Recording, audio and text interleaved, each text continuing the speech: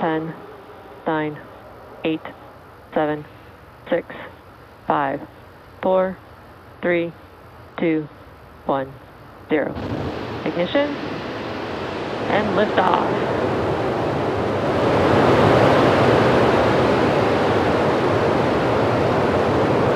Vehicle switching downrange.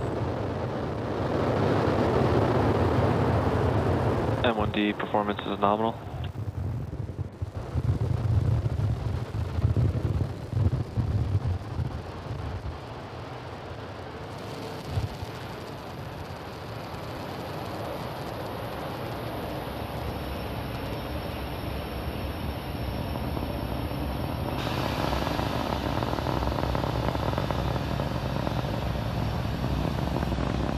Successful liftoff for Falcon 9 from pad Power and telemetry 39A nominal.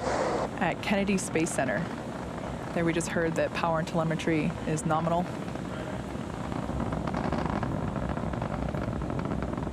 Moments ago, we began to throttle the nine Merlin engines that you see.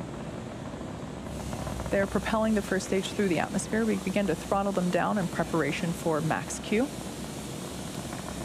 also known as the Max Q. all right, there we heard the call out.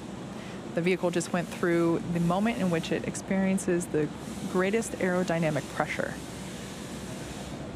In about a minute, we're going to have three events happening back to back. First will be main engine cutoff, or MECO, where all nine M1D engines will shut down and slow the vehicle in preparation for event number two, stage separation.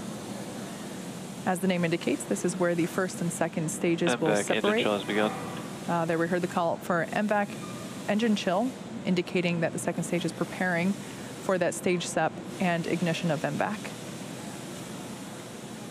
After stage separation, uh, stage one will start to make its way back to Earth for its landing on our drone ship, and stage two will continue its journey with, along with the third event, uh, SES1 or second engine start one, where MVAC will ignite and begin to propel the second stage along with the Starlink satellites to orbit.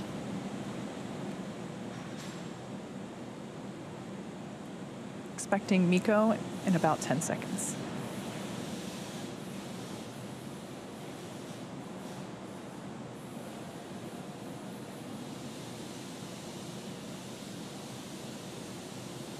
MECO. Stage separation confirmed.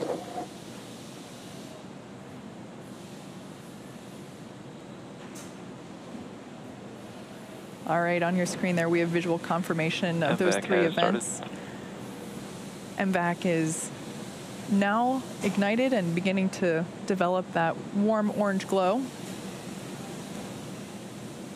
The next event we have coming up is fairing deployment.